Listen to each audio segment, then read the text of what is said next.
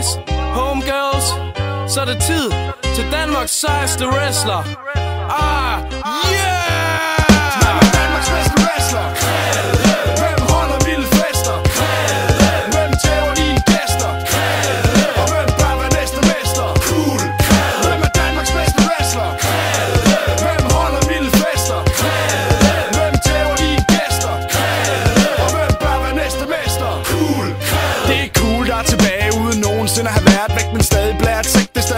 Tjek så tjek, en god wrestler Der fester og tester og tæsker sine elever Hvis de ikke hører efter. Det er W's næste mester. Cool som fræk sms og en skole uden lektier. Og du bør tjek for din dødsring. Det paraply du stød fjend Der siger du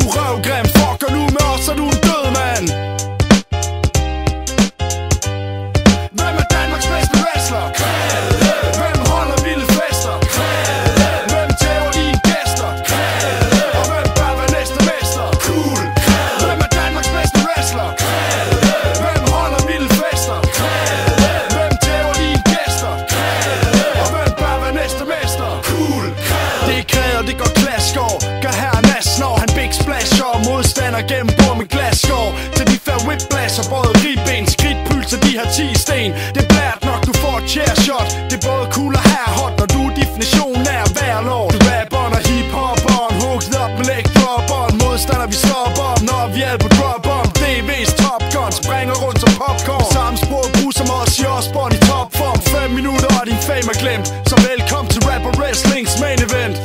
Close line til dit hoved ryger af. Hvem er Danmarks bedste wrestler?